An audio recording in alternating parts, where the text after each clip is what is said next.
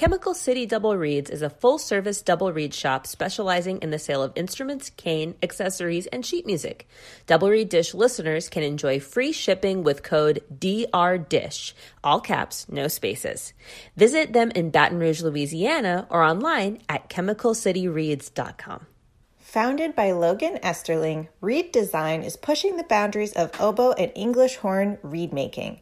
They take the knowledge they've collected from hundreds of reeds and, with the power of machine learning, derive patterns and trends that accurately predict the characteristics of finished reeds while early in the sorting process. The result is quality reeds with characteristics you can count on. Using their products will save you valuable time and let you get back to what you love making music. Visit www.reedesign.io to learn more. That's R E E D E S I G N dot I O. Hi, I'm Galit Kaunitz, And I'm Jackie Wilson, and you're listening to Double Reed Dish, a podcast for oboists bassoonists. and the people who love them.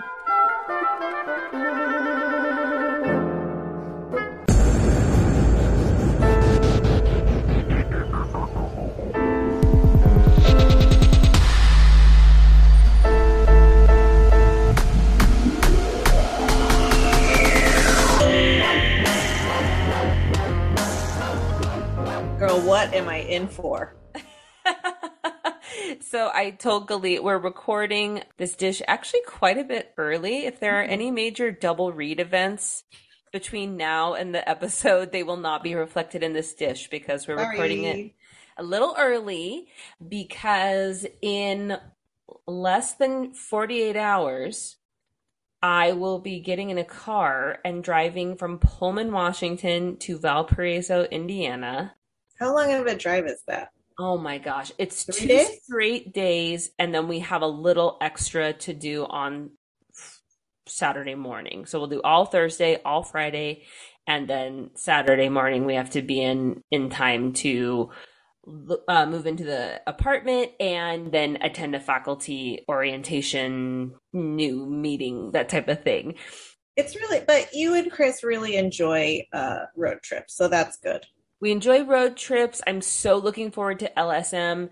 Um, we had in person, so LSM, uh, if the listeners don't remember, uh, is the summer music festival that I teach at. And we had in person last year, but there were a lot of restrictions because of COVID. And this will be a little bit more back to pre pandemic type of things um, in terms of how many students are allowed to come and rehearsing as an ensemble. And so I'm super excited. We're playing Soldier's Tale. Like, I just, I think it's going to be really a lot of fun, but it's a four week long, which is pretty long for a summer music Pretty festival. Mhm. And then in the middle, I'll go to New York for a gig that maybe next time I'll tell you about. The press release has not been, it's a little secret right now. But, and then I will actually drive from Valparaiso to Boulder at the end of these four weeks.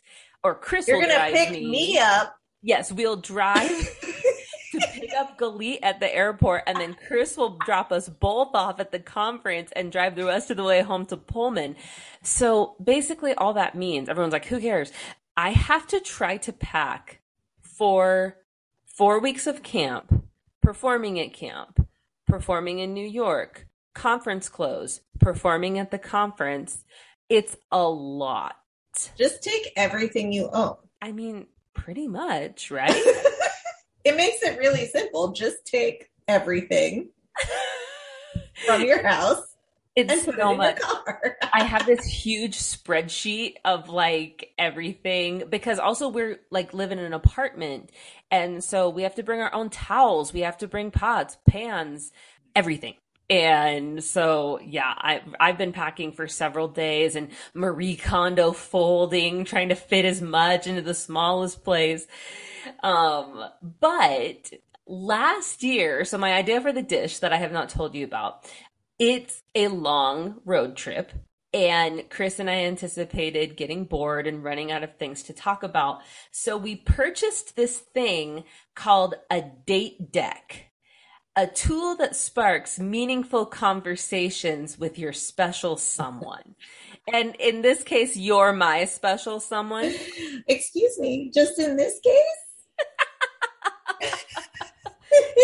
so it's a deck of questions with five categories that get increasingly deeper, creating a fun way for couples to learn more about each other.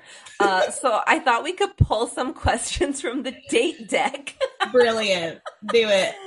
And answer them. And we're, listen, level five, because they get progressively more personal, we're just going to hang out in level one. So, uh, maybe we'll go into level two. I don't know. You don't want to hear the deep, dark yearnings of my soul.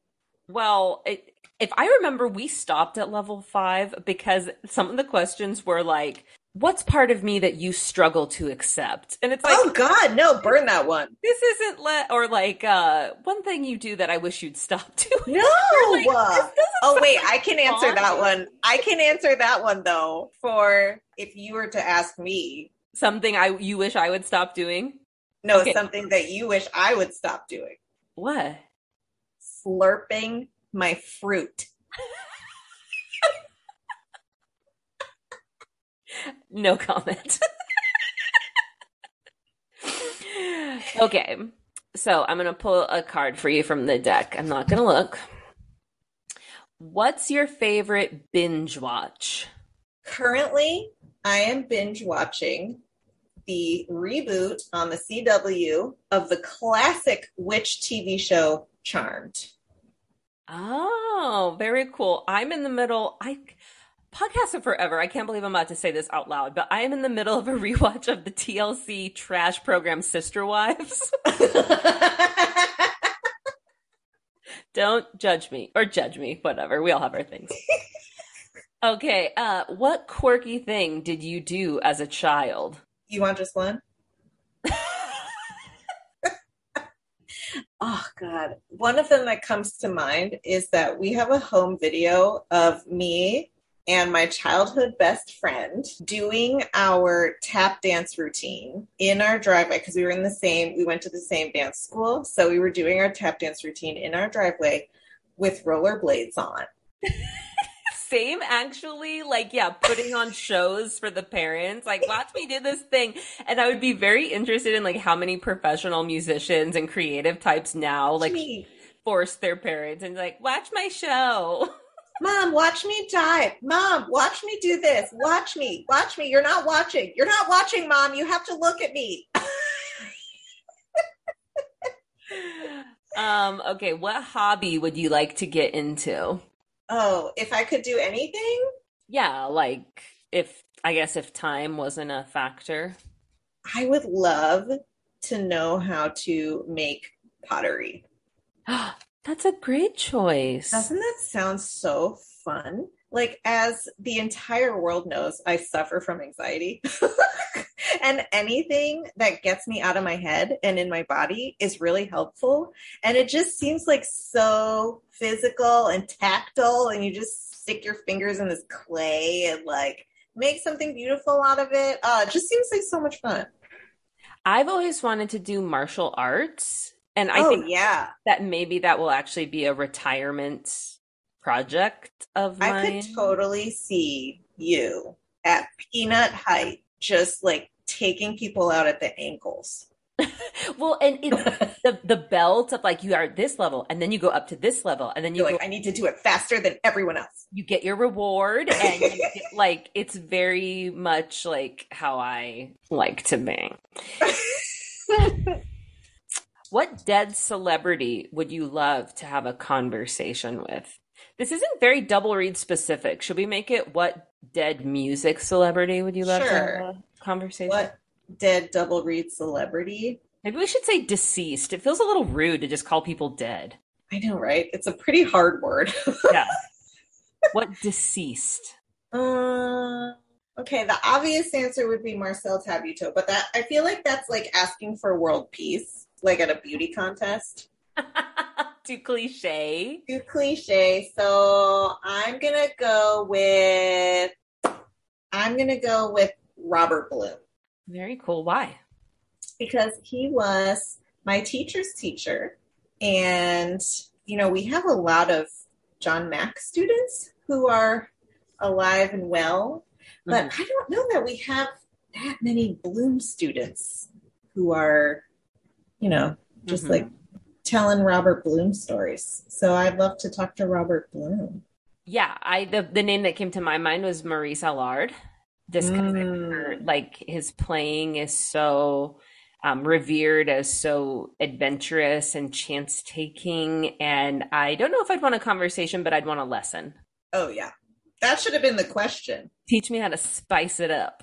Which deceased double reed player did you want to have a lesson with? My answer would be the same. I think Yeah. Robert Bloom. Yeah. Okay, we're gonna end with this question. What do you remember most about our first date? Now I'm gonna cry. No. um, I'm gonna consider our first date to be our first year together at UW Platteville. And by far the most memorable and the most fun would be our Driftless Winds road trips, where you and I would be literally screaming, just screaming, cackling, screaming on these road trips to performances. Oh my God, that was so much fun. Well, and God bless Corey Mackey, our clarinet partner in crime, for putting up with us and our shenanigans. We were a lot. I'm going to go with our actual first date, like when we met.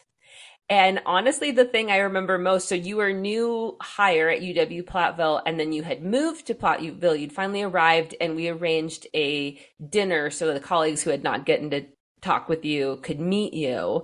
And I was like so excited. I was claiming you as my friend. I was just like, I know Like, everyone back off. and I was like, we're gonna like take her to the fanciest place or whatever, and was really wanting to impress you. And then you were like, I can't really eat anything here. I have no memory. No, wait. Yes, I do.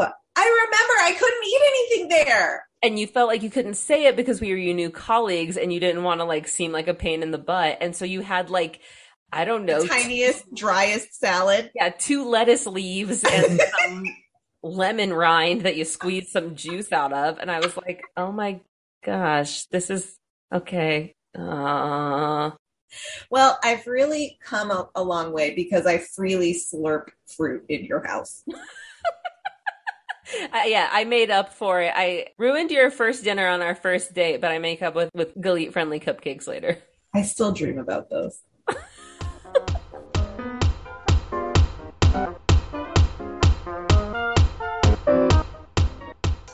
Specializing in the finest assortment of oboes, clarinets, bassoons, and their accessories, RDG Woodwinds serves musicians around the world. Their employees are all professional musicians who have a deep knowledge of the products that they sell. RDG's repair shop has an international reputation with a combined 100 plus years of service among the five repair technicians. Plain and simple, RDG provides excellent products and fabulous customer service. Visit them at rdgwoodwinds.com. They look forward to working with you. Consider buying your processed oboe and bassoon cane from those friendly folks over at Barton Cane. Processed with care and precision for your everyday reed making needs. Take the pain and injury out of reed making by letting Barton Cane do the hard, repetitive, boring stuff. Free up time for practicing, happy hours, hikes, baking, and spending time with friends and family. Barton Cane, here for you. Visit www.bartoncane.com.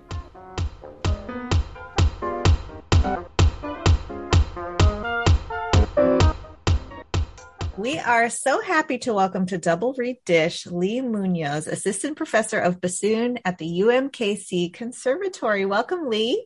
Hi, thanks for having me. Would you start by telling us how you began playing the bassoon? So, I like most a lot of bassoonists. We we oftentimes start on other instruments, and I had taken piano lessons because the neighborhood kids were, and I also wanted to. And then I took flute in I think I started in fifth grade when they asked you what instrument to play, and I said I really wanted to play piccolo, and the band director made a very shocked face and then says, "How about you start with flute?" you went. and now I know why he did that. so I was playing flute.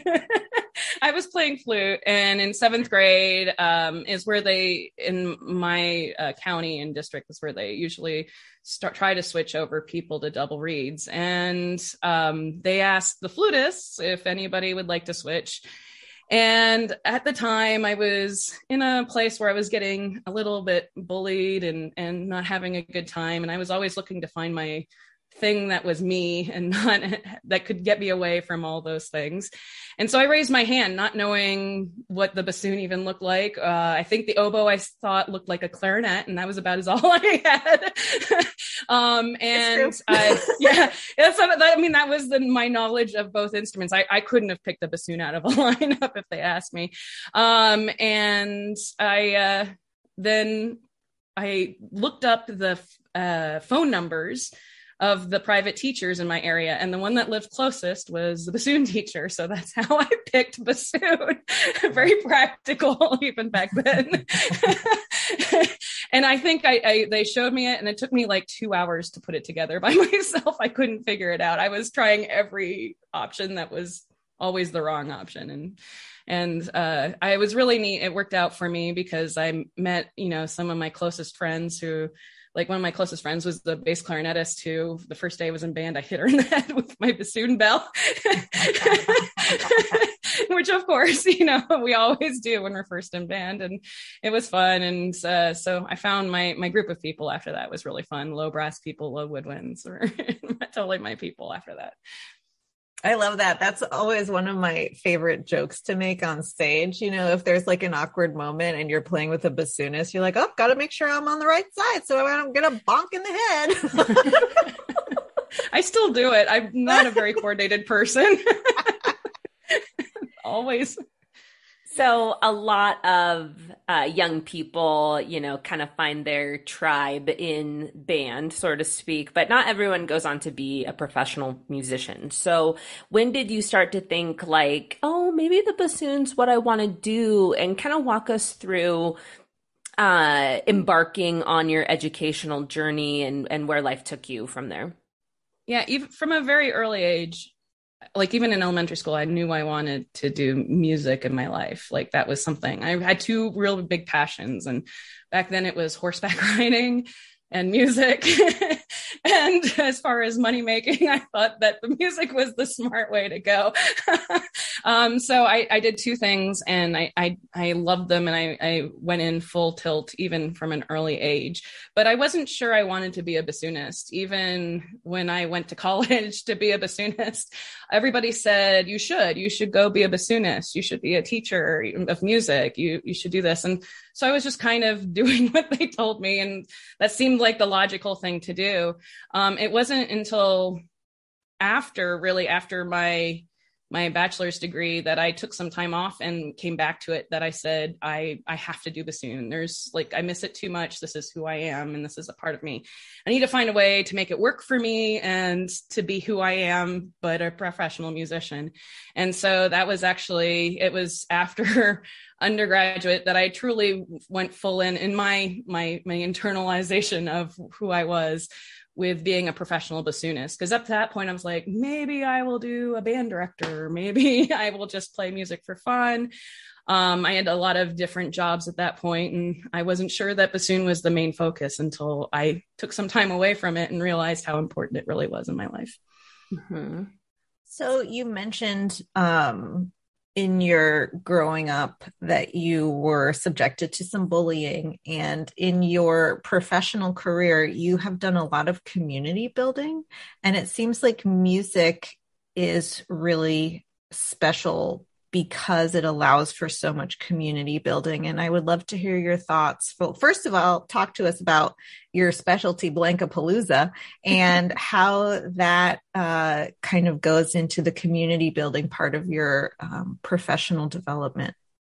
Yeah, music is great. We all, especially double reeds, we all have this one common thing, which is the reed and the craziness that the double reed brings to the instrument and all the weird noises we make as we're growing up or even as a professional still make. Um, and, you know, it's something that I find is a common bond that we take ourselves very seriously seriously as musicians, but we also have a lot of fun doing it. There's a lot of fun involved with double reeds And I, it's really interesting. Blankapalooza kind, it's in, for those that aren't familiar with it, it's a Facebook group that's a private Facebook group, but anybody can join. It's just private so that I can post Zoom links when I'm making reeds and you can come hang out. Some days it's absolutely quiet. There's like seven people and we're all intensely making reeds. And some days it's like a gab fest and like barely anything is, any work is getting done. And um, this group kind of happened organically.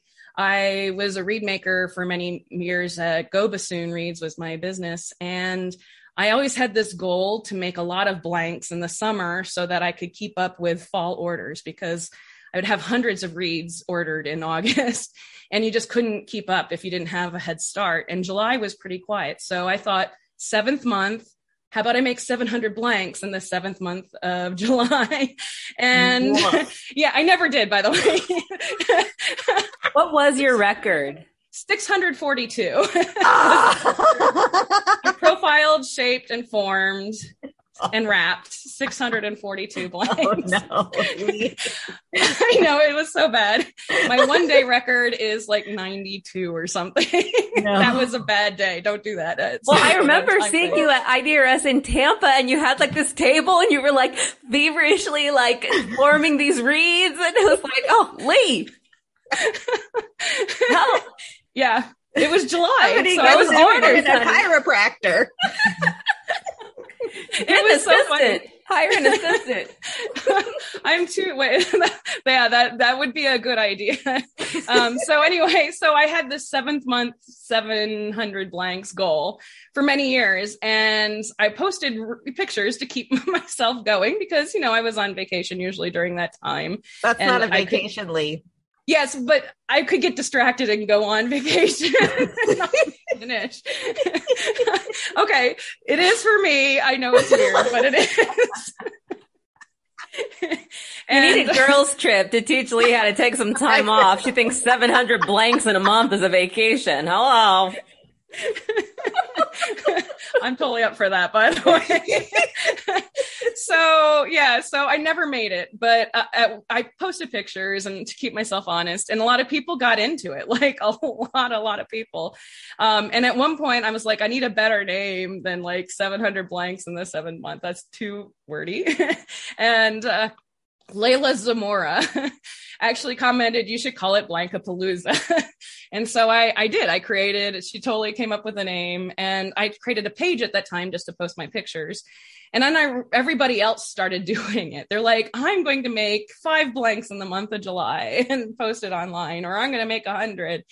And everybody just started getting into it. So I created a group and it was right around actually, you know, that when COVID shut everything down in 2020 and it was kind of a high point because I created this group and I posted a Zoom link. It was mostly for my own personal reasons to figure out Zoom before I had to use it to teach. Oh, yeah. And all of a sudden, like 25 people showed up to the first Blankapalooza.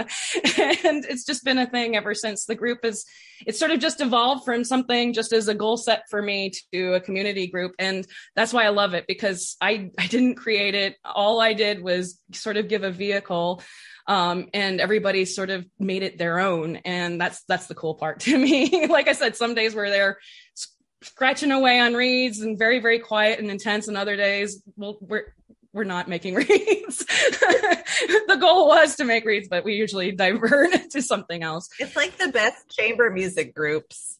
Yes, yeah. it's exactly like that. Yeah. It kind of reminds me also of my reed room, like in college. Mm-hmm. Like mm-hmm. at Oberlin, we had a reed room for the bassoonists. And yeah, we would definitely be making reeds, but we'd also be joking around and we'd also trade, you know, secrets or like not secrets, just hints and tips that we learned a lot of away. And I learned a lot about reed making because back then we didn't have a reed class, you know, there wasn't a weekly reed class or instruction. And So it was mostly just, you know, figuring it out on our own. And that made it sort of a community. And that's what I, I think I love most about Blankapaloozas. These Zooms are a v- worldwide version, if you will, mm-hmm. of that reed room that I had in college. Mm-hmm. Yeah. So we're going to ask more questions about Go Bassoon later, but uh, I'd love to get back to your path and development. So after you took some time off and were like, yes, bassoon's what I want to pursue. Can you talk us through um, your training, educational journey, and then professional path of how you got to where you are today? Um, yeah, so I went to Oberlin for undergraduate. I was a bassoon performance major, but again, like I said before, I wasn't really quite sure. You know, I wasn't, you know, 100% in. Um, I was doing everything. I was walking the walk and everything, but I wasn't fully committed internally. Um, and then I took some time off. I was a hall counselor at Oberlin, and I got a job as a dorm person uh, for the academy at Interlochen, so the boarding school during the winter. And it was a great mm, opportunity for me. This was um, Barrick Stee's uh, final year teaching there. Um, and uh, people like Aaron Apaza were students there, Aaron, Evan Coleman, and things like that. They were students at that time. And I was not doing music, but I was surrounded by it. And I was uh, surrounded by it by people who were really passionate from an early age, too. And that was just awesome. It was a great experience for me. And it was, it was neat to see all these people um, really like from an early age so dedicated to what they were doing, but also having fun doing it. Mm-hmm. And over that summer, I worked at the camp and I was like, I kind of missed this. I, I, I played in a few staff recitals and and got back into it. And that fall, um, which was 2001, um, was when Eric Stomberg actually started work at Interlochen. And my I, I wrote him and I said, "This is who I am. I'm thinking about going to grad school for bassoon. I'm just, you know, trying to figure it out and what I need to do. And like, I've learned how he does everything else. He's like, yes, let's do it. Let's go. We're, we're on it. I, I hadn't even met him at the time. And he was so great. He gave me lessons over that year for free. Um, I actually paid him in coffee because that time there was no coffee on campus or what they call coffee was not coffee. And so the best coffee, if you can believe it, was at a mobile gas station down the road. It was actually quite good. so I would go, I know, I know it sounds terrible, but I would go and I'd bring a coffee to my lesson and I'd pay him in coffee. And he was so kind to do that. Um, this was, you know, like I said, his first year teaching there. Um, and he was teaching at Ohio University and asked me if I'd like to come get my master's there. And so I got my master's at Ohio University with Eric Stomberg um, there. And I, at that point, I was rearing to go, but I knew I needed to play more. I needed more playing. I, I had to some deficiencies in my academics and everything that I fixed at Ohio University, but that took time away from practicing. And I really wanted to play and perform. So I got a performance degree, which is like, I think they call it graduate diploma at New England Conservatory. And mm-hmm. I studied with Richard Svoboda there, but you know, kind of, it's all the studios are kind of mixed. So we all like learned from each other there, which was really neat. Um, and I was there for two years. Um, and that's where I really went full in on Contra. I bought my own Contra um, to freelance in the the city, and it was exciting. And that was my first contra, and it was fun to just you know to to just play and, and, do lots and lots of playing um, with very little other distraction. Um, and at that point, I was thinking about going back to school and and actually doing something. You know, maybe teaching. I still wasn't decided. I still really wanted to win an orchestra job. Um, and so I, I wasn't sure what the right path was for me, but I ended up getting a going to KU as a, a doctorate student to get my DMA at KU um, with an assistantship there. And that was that was again, Dr. Stomberg had moved to there and is now teaching there. And so I joined him in his third year there um, during my doctorate kind of took a detour. I, it, it, like if you stood from the start to finish, it took me 14 years because I only just graduated in 2020. but it was because I actually got cancer and I'm fine now. I but I had a d- detour because of leukemia. And uh, that kept me from playing bassoon. Um, matter of fact, it kept me from doing anything for an entire year because the treatment makes you lose your entire immune system. And so you have to, but you're sort of like, I was bubble girl um, for a, a, while. And I'm fine now, I should mention. I've been in remission for 10 years now, which is kind of amazing. I know it's kind of amazing. Um, uh, but it did the the chemotherapy that they gave me was pretty intense uh, that they they give for leukemia, and it it it gave me something that I now know is called chemo brain, and uh, it's sort of like no short term memory anymore. I came back, you know, started work in the fall after that. I started some adjunct work and I'd introduce myself to the same person three times in one day without even realizing it because I just I couldn't remember names and faces anymore. Mm-hmm. So I kind of gave up hope of ever, at least for that at that point, to ever finish my doctorate because there was a looming seven hour musicology test from memory. you know, like, yeah, there's no advanced studying or no advanced questions or anything. You just get the questions and you have to answer them from memory in seven hours. And i that wasn't possible for me at that point. That was that was not a reality. So i kind of abandoned that. But during that time i was working. It was great. I had adjunct work and everything like that. And the reason I stayed in Lawrence, Kansas, which is where the University of Kansas is, is because I met my husband in Lawrence, Kansas, and his son lives in Lawrence, Kansas, and we were going to wait there until he got old enough and everything. So I kind of made it work doing lots of different things, if you will. Um, because the only job in Lawrence, Kansas is the one Eric Stomberg has. So I knew I was going to be driving a lot. So I worked a couple places. I could two adjunct positions. I had a private studio. I Go Bassoon Reeds. That's how Go Bassoon Reeds got created. I freelanced with the Kansas City Symphony, the ballet, and the or opera, and everything like that for many, many years. It was kind of amazing because I was working full time, even though it wasn't a one job with benefits. I had one job that I could pay benefits with. and that's how I mm-hmm. was able to survive cancer, I might add. I had health insurance from doing all these random jobs.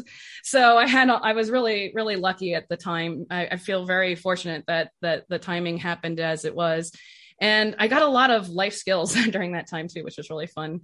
And then I um, got the job at the University of Missouri once my son was stepson was older. And that was a full time non tenure track job. And it was awesome. I really had a great time. I learned a lot there. Um, it was neat to have a full time job and not be driving 40,000 miles a year, which is what I had been doing. And um, to really, you know, think about my ideas as a teacher, to really put a lot, invest a lot of time into my ideas and career development as well because I taught entrepreneurship there.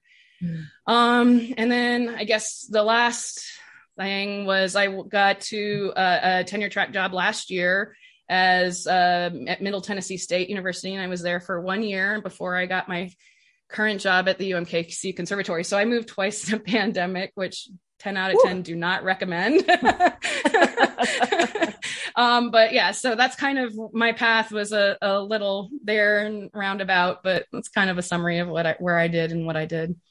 A lot of times in music, um, you even referenced this earlier, like it's so easy to be just for your perspective to be really, you know, self centered, or that's probably a negative way to say it, but just like really focused on the self. There's a lot of ways that our mind can impact us, you know, nerves, competitiveness, um, definitions of success, all that type of thing. And I would anticipate that when one faces and overcomes a cancer diagnosis, that there's a perspective that comes along with that. You know, you had to consider who you are separate from the bassoon. You know, you had to have an identity separate from who you are as a musician. And you had to, well, several times in your life, you've had to weigh, you know, do I want this? Is this something I want to re-pursue and reintroduce into my life? And so, um, yeah, I guess I, I'd just be interested in, in your thoughts and how you feel your path has impacted your perspective as an artist mentally, if that makes sense. Yeah, that's a really good question. And it's it's funny because you mentioned the cancer is giving me a different viewpoint and perspective, I guess, on you know what bassoon is to me. But it was actually before then that year I took off and was you know just uh, you know working at Interlochen that actually for me was the changing point i think all of us at some point go into music because everybody says you're really good at this. You should do this right? That's some at some point people have heard this and and you know like that that might be it. And i I, had always done it because that's what you know people had expected of me.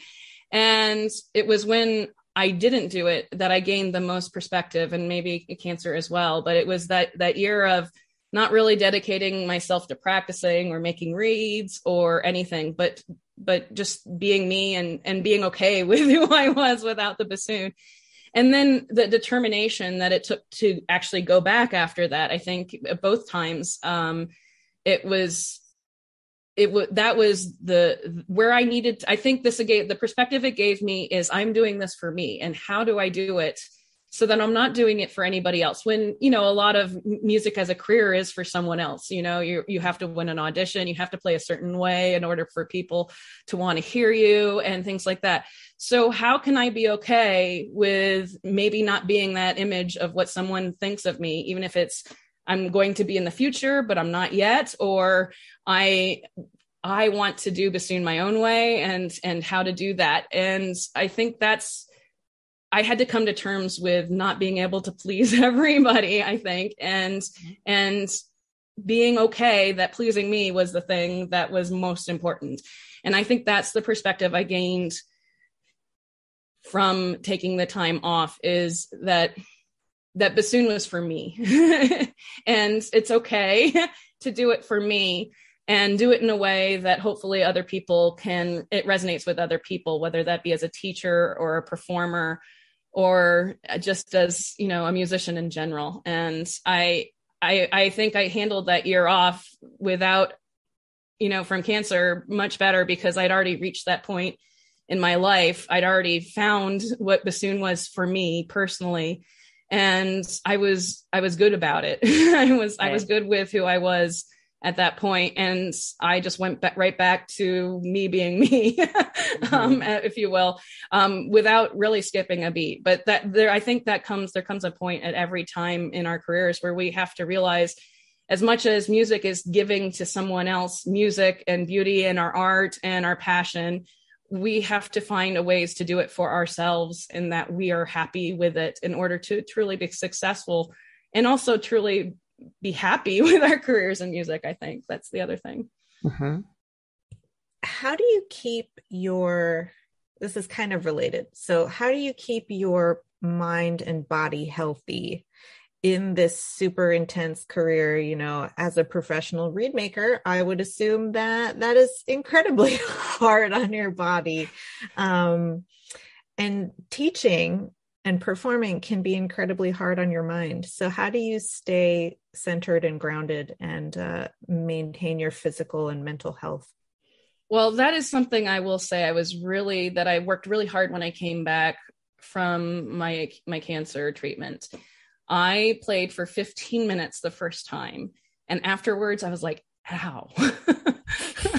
I hurt a lot. And that was 15 minutes because beforehand, I'd just gotten used to it. I developed a tolerance for it. And I didn't realize how much pain I was actually causing my body uh, without even thinking about it because I had just slowly through time started ignoring it and and mm-hmm. and not doing it. So I took that time. I, you know, I didn't have to work for several months still, um, since it was spring. And so I took that time to figure out how not to play with pain. I readjusted my sitting position. Every time something hurt, I stopped and I repositioned myself and tried to find a way not to work.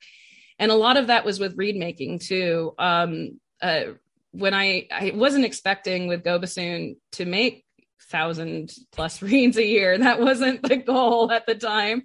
And when it started happening, I really would literally stop making reeds any way that would hurt me. If I developed a blister or a callus or pain, I would find another way, another tool, another position something to reposition.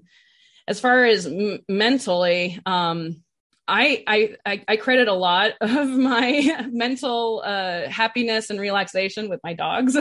they are a total escape. They they don't let you practice or do something for hours on end and sit in the same position and you, you they can't it can't be ignored. Let's say 30, 3, 80, 50 to 80 pound pit bulls they won't let you ignore them. so it's kind of nice. It's I I learned from them that I need to take frequent breaks, not just small ones and short, you know, like not just uh, long practicing and things like that. But they gave me um, something to do, and they gave me something goal oriented outside of music because I competed in agility with them, which is a dog competitive sport. So I would say having something that you're passionate about outside of music is really important, um, as well as being equally passionate about music. Just just as a distraction, if you will, something that you can you can you can do that it's totally not music related. I was surprised actually to find how many musicians do dog agility. There's quite a few. um, I ran into like different musicians uh, uh, just in the Midwest. Uh, the, you know, I meet pianists and and various different kinds of teachers, uh, music teachers through dog agility. this might be controversial, but I feel like there is a lot of overlap between teaching a student and teaching a dog. this might be controversial. You're not wrong. okay. Okay, so here's the thing. This, this, okay, not at all like that. But here's the thing. In the dog agility, dogs won't run and for you unless they're having fun. Mm-hmm. So 100% you have to be having fun yeah. all the time, mm-hmm. which by the way is a great mindset to be in. like even if you're competitive, you have to have fun. Yeah. And it's the same with students. If the students aren't enjoying bassoon, they're not going to stay playing bassoon, whether it's professionally or otherwise. And I see my job as a teacher to educate students, but to also keep it actually enjoyable. like that's the whole point. It's not supposed to be just negative. right. No, I right? I agree a thousand percent. Yeah. Yeah. Yeah. It's a hundred percent like training dogs. I'm like, oh no, that's going to be out there. no, I, I feel like it there's a lot of um transfer um when you consider like the relationship that you create with your dog through positive reinforcement and the relationship that you create with students through positive reinforcement i mean you can train a dog through fear and they'll learn real fast but what does that do with the relationship and the mindset and the confidence? You know what i mean? It's the yeah. same thing with students. Yep yeah and it's honest feedback too like you don't mm-hmm. reward a dog when they're doing something completely wrong you usually ignore it right um, mm-hmm. and it's the same with students you you need to tell them that these things need to improve but you also need to do it in a way that opens their eyes to what the possibilities are of improving these things mm-hmm. and how it can help them and it's the same with the dogs and any any animal or any teaching in general i just feel like that's our goal as teachers in order to to not only just teach the basics like this is a scale this is how you articulate this is how you vibrato but to also show them why and how and open their eyes to a world where these things are possible you know when these things are possible all the things that you can do as a musician when you have the freedom of articulation intonation vibrato etc mm-hmm. so i hear you both saying i should beat my students with rolled up newspapers. Yes yes, that's going to be the next quote card. Yes. Uh, yep. Or when you do something right, you should stop and have a little snack. That I, I can mean, get on I, board with. You can put that on yeah. my on my gravestone. she did something right, so she treated herself to a snack. Yeah. I you know, I try to figure out how cuz you know, that's not necessarily how traditionally how I grew up learning bassoon was, you know, rewarding yourself for something good. So, you know, I try to figure out how to every time I teach a lesson how to like stop that constant feedback of negativity right because mm. nope you did you did it fine but you need to improve these things and so every time a student really gets it we high five as silly as it sounds, we stop and like, you have to take a second to actually celebrate that you improve something. And it may not be Mhm. perfect yet. You may have 10 other things you still need to learn, but stop for a second and appreciate that because so much of our practice, so much of our lessons, so much of our playing in general, our mindset is all the the things that we need to improve, not stop. I just got better. Right. like take a second. So that's my like silly way. It's become over COVID. It's become an air five. But it's the point is to take a second to say that was that was much improved. So good. So Right. that's the whole point. Um, I'd love to talk about Go Bassoon. And um, you know, this has been something that has created teaching opportunities. Like you said, you did entrepreneurship at Mizzou. Um, what have you learned from Go Bassoon and what entrepreneurial skills, uh, how have you felt that that has impacted your career for the better, having an entrepreneurial mindset? Like this is a lot. There's a lot of things to talk about, but Go Bassoon has it's interesting because I didn't go in it with an entrepreneurial mindset, if you will. I didn't I probably didn't even know what that would mean back then. But after after teaching it, I, I look back on all the things that I did and all the ways I was thinking and how it has since driven me in my career and made me really focus.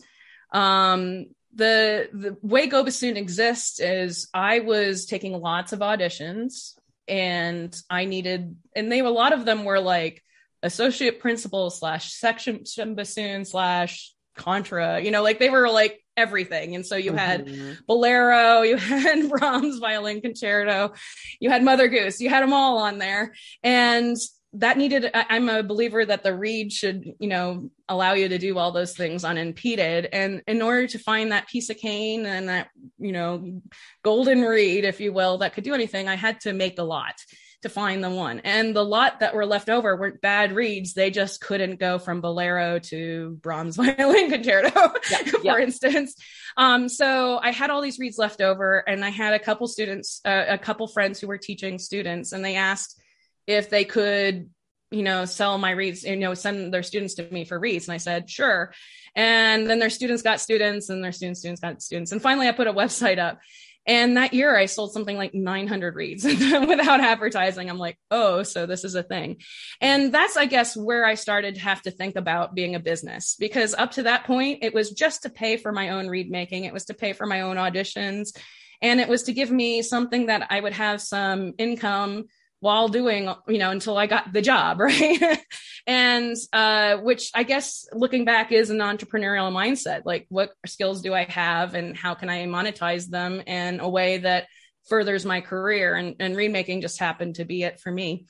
But uh the that's where i had to start thinking because when you, you're making i was then 900 is a lot more reeds than i was making a year for myself um, even with lots of auditions. And so i had to think about how to become more efficient with my time, what truly matters, what's so important that I need to keep for the final end product, what are the things that I need to do in order to make a profit, how much money do I want to make doing this, how valuable is this you know to me my time that i'm giving to reed making. And um, what kind of reed am i going to sell? What kind of product do i give? What am i going to be known for? And i think all of those things i use every day in bassoon like not just reed making. Right. uh, for instance practicing i don't waste time practicing anymore. Like it's just yeah it's not worth it. I have very little time to practice compare it's so funny when i was in school i'm like i don't have any time to practice and now i'm like i really don't have any time to that was that was false. Students beware.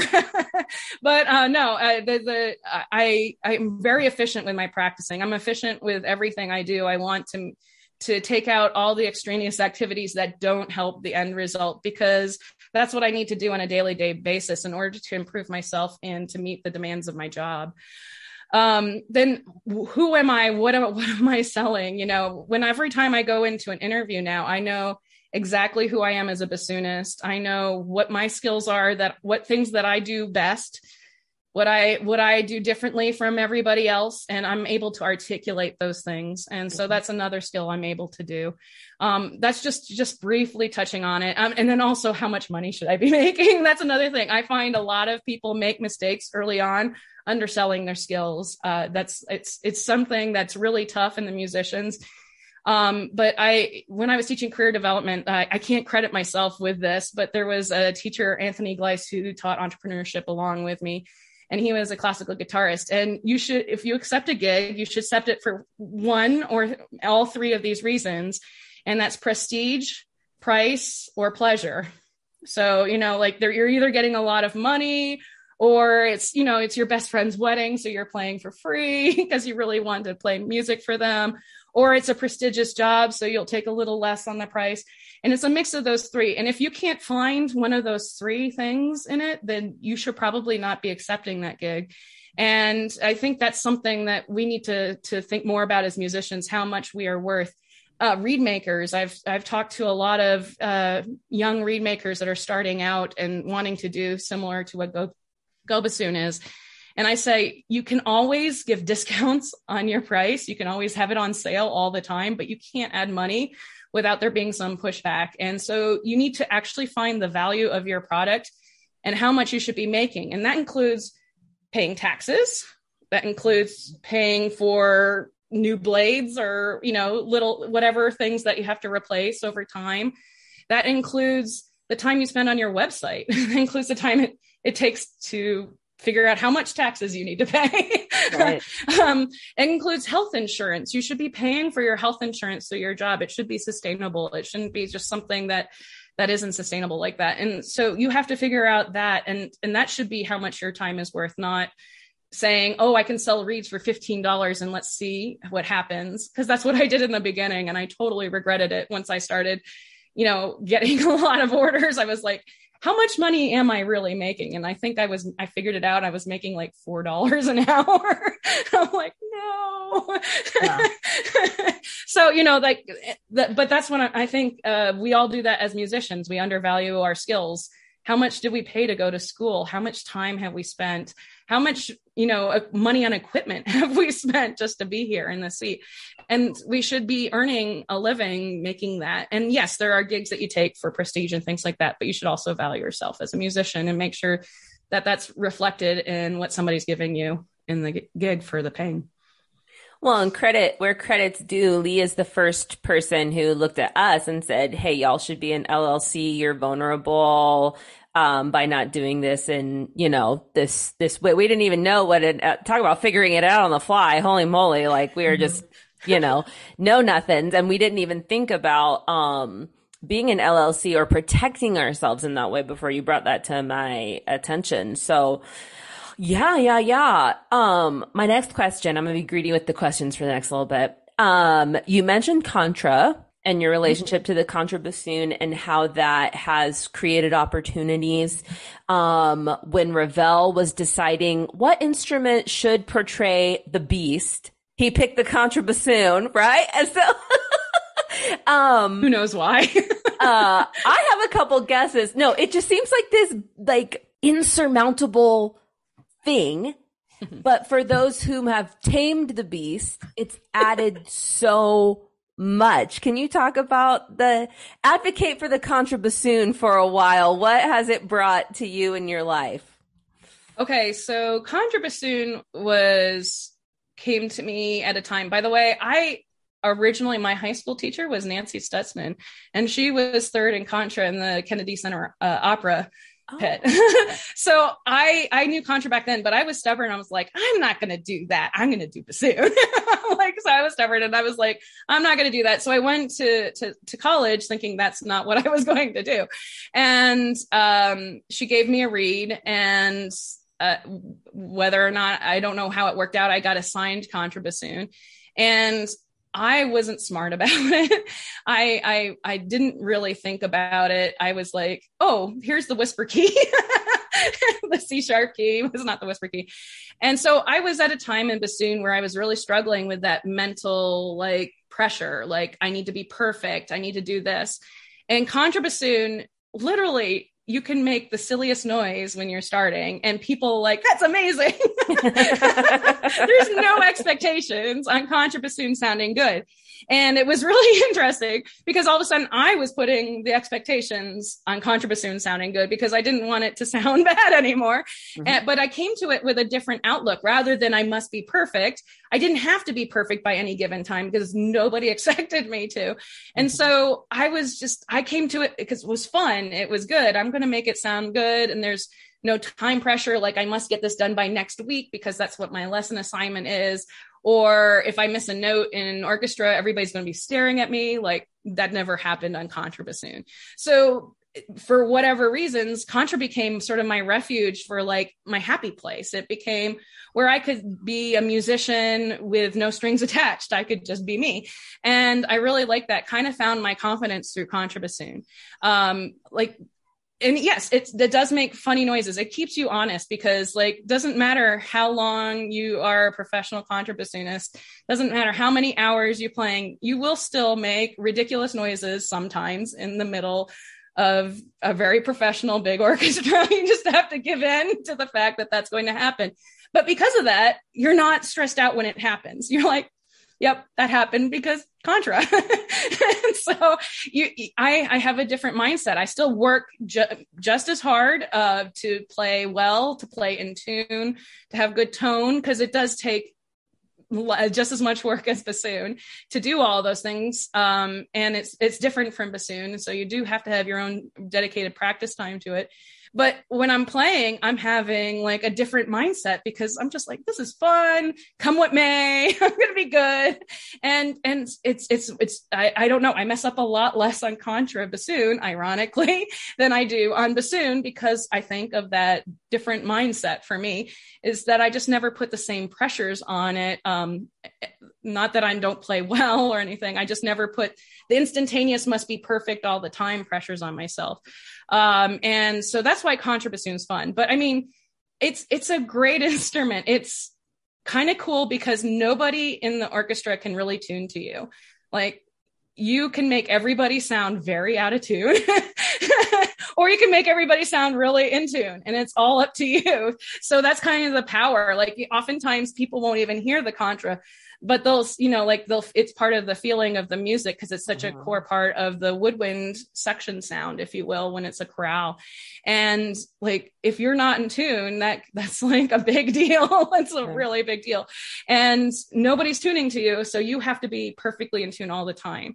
And i kind of love that kind of supporting role where like you know like it's you know you're kind of hidden but you make this glorious like foundation for everybody to play on. So that's that's really neat. The solos are fun too. Don't get me wrong. I love the Beast. I I I finally got a chance to play Shostakovich Five this last year, and I was like, yeah, this is this is awesome. this is like the most bassoony contra bassoon part ever, and you know, like like it really is. It's just let's just be who we are and staccato and just nail this melody out. And like beautiful beautiful music one way or the other. But i i really love that foundational like oh like symphony of psalms that low c that comes in and just like it's a glorious sound. So that that for me is where it's out for contra. Is not necessarily the big solos but the the rumbling feel that you give to uh low sections. That's what i really like So earlier you mentioned representing yourself in an interview and you told us in your path how you went from non-tenure track uh, adjunct to non-tenure track full time to tenure track positions. Most recently you're at UMKC, which is a pretty good gig. Yeah. Uh, so for those of us, uh, in the field, uh, students, maybe grad students or our colleagues who are still finding their way to their forever gig. What advice and strategies do you have for the aspiring college bassoon teacher in the interview process, for example? In the interview process. Yeah. So first off know who you are. Like don't try to be who you want they think you, think they want you to be. That's that's first off is like it's very easy to get into the trap. And this is the same for orchestra auditions. How should i play this excerpt to fit in this orchestra? You know things like that. You can't do that. Um, you have to know what your strengths are. You have to know how to articulate them in a way that represents yourself well. And uh, I think that's the the biggest thing I see because I, I still do a lot of work with my graduate students and you know and also through the entrepreneurship classes that I've taught is a lot of people can't articulate who they are um, very well. They can say, I'm a bassoonist. and I go, but that doesn't really give me any in- new information. mm-hmm. so you have to be able to tell me, what is it that you do well? What is it that you what it why do you teach you know where do you start with foundations of teaching? What what is the most important thing about the bassoon pedagogy to you? Is it the voicing? Is it the technique? Is it you know where is it? What do you feel it you need to have strong opinions. And i i will say that my strong opinions came through experience. That's the other thing. I i taught a lot of students both in like of all ages from sixth, seventh through 12th grade, as well as adjunct. And I got a lot of experience that way. And that's when I truly started doing well in job interviews is having that experience and and are being able to articulate in a way what I do best what you're getting when you hire me. Like this is who, who you're getting. Mm-hmm. and and this is if you like it that's good. And if you don't that's okay as well because this is i'm not going to change for the job. I see a lot of students trying to they worry about their experience not matching what the job has. And oftentimes it does. They just haven't figured out a way of framing it. I once had a, a student in a career development class that said I don't have any teaching experience. How am I supposed to apply for this teaching job? I'm like, wait a second. Aren't you a teaching assistant? Let's talk about this. I'm right. like, have you given a master class? Have you run a studio class? Have you taught private lessons? Have you taught any private lessons for your colleague, your peers here at school? Have you uh, done community outreach? Have you done like like let's let's go let's talk about these things because you do have the teaching experience. You don't have i am professor of so and so at so and so location but mm-hmm. you have plenty of teaching experience and that's what you need to to look for. And you should be looking for those experiences. You should be giving master classes you know go go somewhere and get the experience. Um that's i i that's how i first got started. I asked people i'm like can i come and teach your students? And I'm like free of charge. and like, and they're like, yes, absolutely do it. And that was the time where the the prestige was actually bigger for me because I got the experience of being in front of an audience and teaching a master class and things like that. But gain the experience and then be able to articulate in a way and find out what's truly important to you in teaching. Um, I, I mean, Jackie, you and I are very, you know, we're, we we both teach, but I'm sure that we both have very different viewpoints. But it's all to get to the same way. Let's get to the same end product, which is a student that can play bassoon. Mm-hmm. but it doesn't matter how we go around it, but it's good to be able to articulate that and to also be able to um, summarize it in a way that that people can understand. Can you tell us a favorite memory of a past performance? Can I t- speak about somebody else's performance watching it, like not a performance that I had? Yeah. Whatever you want. Okay, so I remember this very clearly. I was at uh, there's a, a, organization called the Midwest Double Reed Society, and it was it's hosted at the University of Kansas, and I've been involved for many years with the organization. And one year they had uh, uh, William Winstead um, come as a guest, and it was amazing. And he was he's so great and it's like the greatest honor to be called his grand student. He's like, oh, my grand student.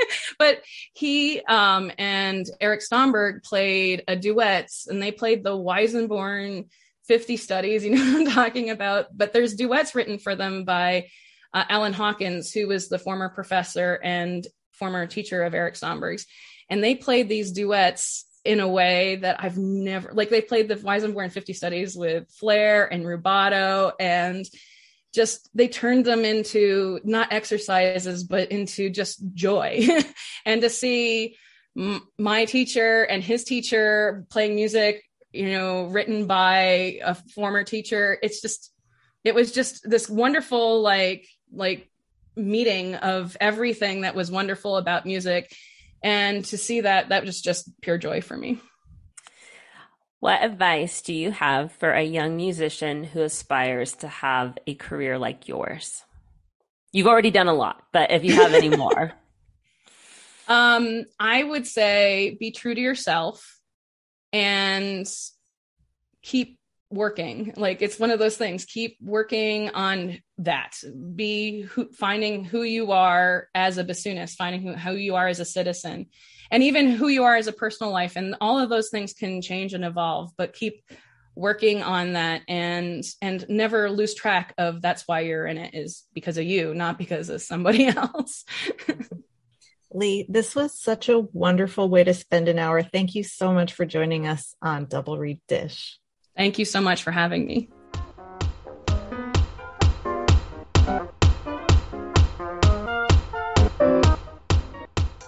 You for joining us for this episode. We hope you're having a wonderful summer. Make it better or make ours better by rating, reviewing, and subscribing. And uh, yeah, if you're going to be in Boulder, make sure to come and say hi and attend our live show. Galit, who's coming up on the next episode? We have an awesome conversation with Bill McMullen, professor of oboe at the University of Nebraska Lincoln.